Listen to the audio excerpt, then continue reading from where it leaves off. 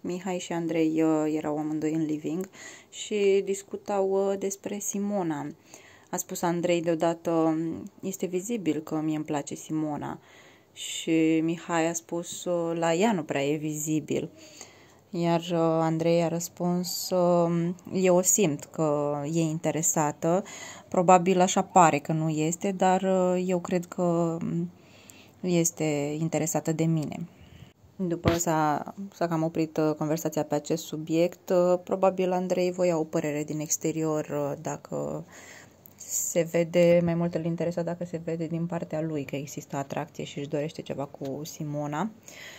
Se pare că din perspectiva lui Mihai ea este mai reținută, dar este foarte posibil ca și ea să-și dorească, dar să aștepte pași din partea lui și să nu fie atât de extrovertită, să se arate atât de mult și să-și arate gândurile și sentimentele.